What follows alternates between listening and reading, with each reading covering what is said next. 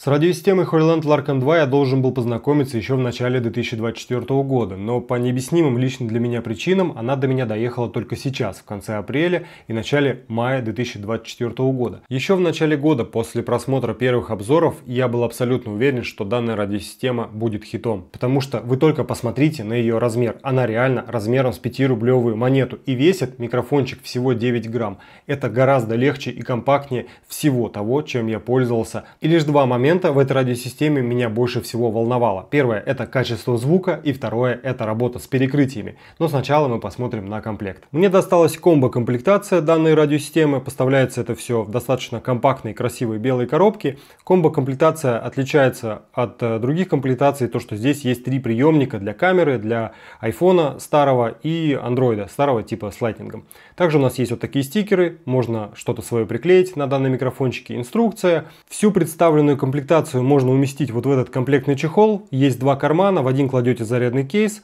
вот этот самый зарядный кейс, а в другой просто все аксессуары. Зарядный кейс, естественно, у нас заряжается от USB-C, в нем есть приемник для камеры, вот он такой компактненький. На нем нет экрана, только крутилочка, которая отвечает за управление громкостью и клавиши. И также два микрофончика, вот эти маленькие, 9-граммовые, размером с таблеточку, с 5-рублевую монету. На них же, на каждом из них есть еще магниты. Обязательно в комплекте поставки у нас идут ветрозащиты, которые полностью покрывают данные микрофончики. И вот еще два приемника с Lightning и с USB-C. USB-C подойдет как для Android, так и для свежего 15 iPhone. Кабель USB на USB-C для зарядки две прищепочки с магнитами, то есть вы можете поменять вот эти кругленькие магниты, которые идут в кейсе, на вот такие прищепочки, только прищепочки эти коварные. Кабель TRS на TRS, TRS здесь не нужен, потому что у нас есть специальные приемники для смартфонов.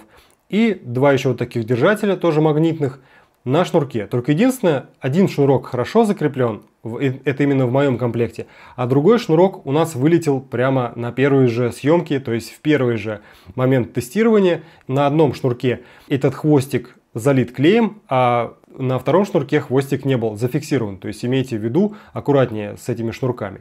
И вот теперь сами микрофончики. Посмотрите, какие они маленькие, какие они компактные, какие они крошечные. Есть только одна кнопка, она отвечает за включение шумоподавления и за выключение самой радиосистемы. А вот и как раз те магниты. И у нас еще есть такая стрелочка, которая показывает нам направление, расположение микрофона. Это очень важно, потому что когда с надетой меховушкой вы будете на себя устанавливать данный микрофончик, вам нужно будет видеть, куда направлен микрофон. Потому что, естественно, направить его нужно будет в сторону вашего рта. И вот этот треугольничек как раз показывает направление расположения капсулы микрофона. Очень удобно, очень классно. Но с меховушками нужно быть аккуратными, потому что вот эти таблеточки, они маленькие, они скользкие, они легкие и легко и просто где-нибудь на ветру можно их уронить. И вот как раз вот с этой прищепкой я один микрофончик уронил, потому что видите, как она крутится. Держать это очень неудобно, если у вас большие толстые пальцы, вообще некомфортно. И как раз мы снимали на ветру, и у меня вот этот микрофон с прищепкой просто вылетел. И мне также очень понравилось, как крепится микрофончик к шнурку. С магнитом вот с этим наконец-то китайцы стали класть эти шнурки в комплект. Я давно им об этом говорил, но самый лучший вариант крепления, как показывает мой опыт э, использования, это вот эти стандартные комплектные магнитики. Мишань, вот мы сегодня самые разные типы креплений попробовали вот с этой радиосистемой. То есть это вот стандартная, угу. обычный магнит, это вот эта прищепка магнитная и вот этот шнурок. Вот тебе какое крепление больше всего понравилось? Вот самое адекватное крепление это именно стандартное. Почему? Потому что его в принципе можно в любое место повесить, не надо подбирать там а, определенную точку крепления, в отличие там от той же прищепки. А, Я просто думал, она сейчас прям штатив так снесет. Но благо этого не произошло. Я въезжаю в кадр. Ну вот ты просто за, э, заносишь магнит туда за футболку да. и сверху крепишь как бы эту радиосистему. Максимально просто и да. для всех понятно. Э, прищепка, опять же, куда? Ну, надо определенно там куртку как-то повесить, либо там А если на футболку, быть. то она вот только с краю. Она прям с краю, и она прям оттягивает ее. Угу. Вот. То есть она прям веса добавляет, прилично эта прищепка. Ну, про шнурок. Шнурок ребятам надо дорабатывать. Шнурок там просто, он не закреплен в этой резинке, вот этом фиксаторе, там никакого узелка нет. Я просто чуть посильнее подтянул, и вот этот край шнурка просто вылетел, и все. Это на съемочной площадке где-то, ты это сразу не вставишь, не закрепишь никак, Ну, не вообще без иголки там никак. Без потом. иголки делать там нечего вообще. Так что шнурок, как бы, идея прикольная. То есть, если ты кого-то снимаешь там с голым торсом и куда-то примагнитить, ну, некуда, например, примагнитить, да, фитнес-тренера ты снимаешь, неважно, там, на пляже, еще что-то. Шнурок вообще штука классная. Наконец-то его кладут в комплект, это офигенно. Управление радиосистемой максимально простое. Изменять что-то мы можем только на приемнике для камеры. Сама крутилка имеет абсолютно бесконечный ход. И у нас есть три режима усиления, по большому счету. Из кнопок есть кнопка включения и кнопка переключения режима моно-стерео. Никакого режима Safety Track здесь нет, только моно и стерео. Также есть порт Type-C для зарядки и порт 3,5 мм джек для подключения к вашей камере. Само собой на приемнике для камеры есть прищепка для установки в горячий и в холодный башмак, только вот с шириной и толщиной этой прищепки что-то производитель накосячил, и в стандартный холодный башмак эта прищепка, конечно, устанавливается, но совершенно там не фиксируется. А вот в горячий башмак эта прищепка не устанавливается. Ну, конечно, ее можно туда силой затолкать, но потом вынуть ее бывает достаточно проблематично. Я пробовал на A7S3, на A7 на A7C2, и э, вот, например, радиосистема Hoyland Lark Max или вот комика VMC, сначала вам покажу. Вот у комики VMC там примерно такой же приемник, и он без проблем устанавливается туда. То есть вот эта вот прищепка там спокойно фиксируется в холодном башмаке, в горячем башмак она тоже спокойно устанавливается и тоже спокойно фиксируется. Проблем с этим никогда не возникало. Но лучше всего фиксируется прищепка от приемника для радиосистемы Hoyland Lark Max. Тут вообще без каких-либо проблем, хотя приемник достаточно большой и крупный, без проблем он фиксируется в холодных башмаках клеток и прочих аксессуаров. Я не могу сказать, что это достаточно существенный недостаток, все-таки его можно исправить просто обернув немножко прищепку изолентой или еще каким-нибудь тейпом. Но я просто прижимаю его вот этим витым кабелем ТРС к клетке и все, и он никуда не девается. Но если его просто вот поставить в холодный башмак и оставить где-нибудь на ветру, то ветер просто его сдует оттуда, и этот приемник может упасть. По размеру, в принципе, вы видите, то есть меховушкой она достаточно большая, эта радиосистема. Но даже если мы посмотрим на самую маленькую, которую я видел, вот самые маленькие радиосистемы, это вот Lark M1, Lark C1, она все равно будет плюс-минус такого же размера, как M2 с меховушкой. То есть, если сюда еще добавится меховушка. Но, опять же, тут прищепка на Мгм. Lark M1, Lark C1, и это куда-то вот сюда только сможет установиться без шнурка. А M2 за счет магнитов можно поставить вообще куда угодно. Можно в любую точку закрепить. Да. У нас тут еще катаются дети, поэтому мы сейчас попробуем шумоизоляцию. Шума, как он называется-то? Noise Isolation, вот этот вот. Все, я его включил. Но вот тесты, которые я уже делал, они мне говорят о том, что вот эта функция работает похуже. Вот сейчас как раз шум есть в кадре, это отлично. Она работает хуже, чем на Lark Max. То есть по шумодаву вот этому, э, noise cancelling, короче, лучше всего работает Horland Lark Max. Это вот из того, что я тестил. А потом уже все остальные радиосистемы идут. Да, там питбайкеры, как обычно, классика жанра. И отключаю. Весна. И нащупать эту кнопку достаточно сложно в кадре. Вот. Наверное, выключил. Не знаю точно. Ну а так, радиосистема, я ее уже сегодня уронил, короче, вот эту одну таблеточку, потому что она крутится еще вокруг магнита. Она такая Прям прям достаточно скользкая. скользкая, маленькая. И на ветру все, это сто процентов вы ее уроните. И если будете ставить, например, прищепку, обязательно сначала ставите прищепку и только Мгм. потом уже саму вот эту радиосистему, потому что вот это коварная штука. Там А вот так- эти скользкие вот эти неодимые магниты, они скользят очень друг об друга, несмотря на то, что они как бы хорошо держат, но скользят они прям по жесткому. Несколько очень важных моментов, которые вы должны понимать. Данная радиосистема не имеет функции записи в себя. К данной радиосистеме невозможно подключить проводной петличный микрофон, и у данной радиосистемы нет режима Safety Track.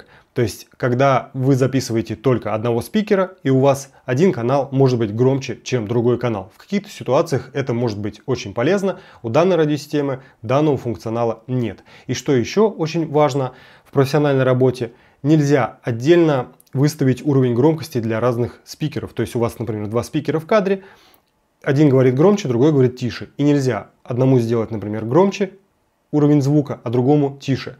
То есть регулировка уровня звука идет одновременно, одинаково для обоих микрофонов. Это очень важно отметить. Сейчас протестируем радиосистему Highland Lark 2 на работу с перекрытиями и еще на удаление на изоляцию от посторонних звуков. Ладно, это уж как получится. Там просто ребята там футбол или волейбол играют пляжный.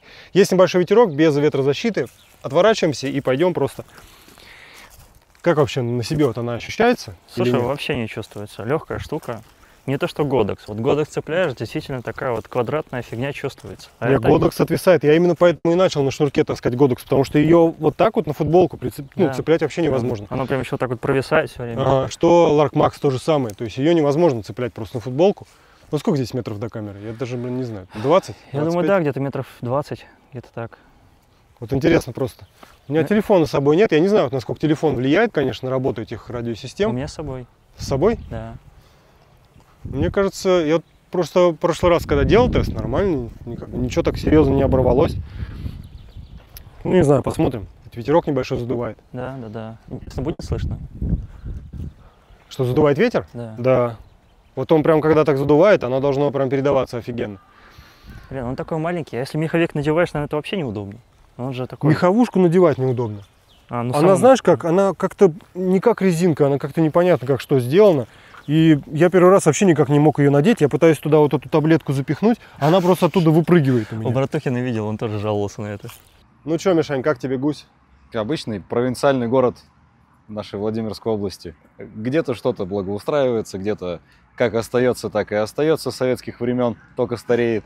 Особенно радуют вот эти контрасты, когда ты смотришь в одну сторону, здесь все так красиво, смотришь в другую сторону, там грусть, грусть, печаль, грусть, тоска, тоска находит. Да. Но вот это самое чистое место в Гусе, да? Да, да, так и есть. Там пытаются еще что-то в центре благоустроить. Mm-hmm. Ну, как у нас, как обычно в России, везде пытаются, а попытки остаются на документах, так скажем. Реализовать мало чего можно. Оно так везде. Вот сколько я по России как бы ездил, оно везде так. Только вот центральные города, там типа Питер, Москва, и то. И то это только там, где видно. Где не видно, там никто ничего не делает. Я, конечно, люблю снимать на мобилу, но картинка с айфона мне не всегда нравится, особенно на сверхширик. Но мы сейчас просто тестим радиосистему с вот этим приемничком, прям Hoyland Larcom 2. Вот как тебе этот приемник? Скажи, кайф вообще. Приемник вообще шикарный. Он... Просто ты его поставил, в нем нет акума. Сразу же, да. Он показывает индикацию, то есть одна система у тебя в работе, две системы в работе, там ну, два... один или два микрофона. Там, да, имеется в виду микрофоны, там два маленьких индикатора, они все показывают. Красота. Ты его воткнул, он сразу готов в работу. И что самое важное, вот за что я переживал, не нужно ничего коннектить заново. То есть к приемнику камеры или к приемнику к телефону система сама автоматически коннектится к тому или к другому. Короче, это просто идеальный вариант, если вы снимаете то на камеру, то на мобилу. Если же мы сравним между собой микрофоны Hoyland Lark Max и Lark M2, то разница в размере и весе просто небо и земля.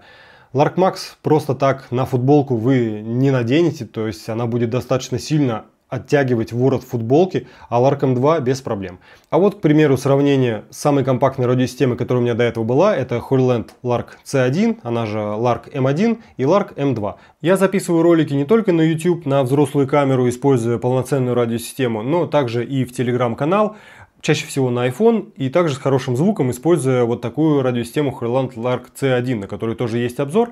И до недавнего времени мне приходилось постоянно брать с собой две радиосистемы, то есть взрослую для камеры и маленькую для айфончика. Сейчас все это заменяет Lark M2. Больше всего я переживал, что при использовании разных приемников, то есть для камеры и для телефона, придется э, коннектить отдельно радиосистему. Но кайфово то, что здесь используется вот эта вот технология, ну как она так называется, типа plug and play, то есть подключил и все, и готов записывать. В этом мы недавно убедились на улице, то есть ты достаешь приемник для камеры, подключаешь микрофончики, они автоматически коннектятся. Убираешь приемник для камеры или выключаешь его, то есть убираешь его в зарядный кейс или выключаешь его, достаешь приемник для смартфона, подключаешь его в смарт, и микрофоны автоматически коннектятся к тому приемнику. Это нереально удобно, ребят. Второй момент, за который я переживал, это звук. И на удивление, звук мне понравился больше даже, чем в Hollyland Lark Max и чем в Comica VMC. У меня также есть Boosty, там уже огромное количество сравнений и с Comica VMC, вот этой Lark M2 и с Hollyland Lark Max. Там есть отдельные тесты. Короче, там огромное количество контента, так что можете проходить, подписываться на Boosty, если хотите больше контента. И даже в условиях обычной, неподготовленной для звукозаписи комнаты мы получаем вполне себе вменяемый звук. Хотя здесь достаточно такой ощутимый ревер присутствует, потому что здесь еще ламинат на полу. По итогу Holyland Lark M2 это просто обалденная радиосистема. Это уже бестселлер, это уже легенда. Потому что если вам не нужны какие-то профессиональные фичи от радиосистемы типа вот Holyland Lark Max или там DJI какой-нибудь или Rode какой-нибудь радиосистемы, вы записываете какие-то лайтовые блоги на YouTube один или вдвоем с кем-то, и вам важна компактность, вам важна мобильность, вам важен вес и размер и возможность как-то там скрыть радиосистему, например, то Lark M2 это однозначно ваш вариант. К сожалению, да, она не идеальна, она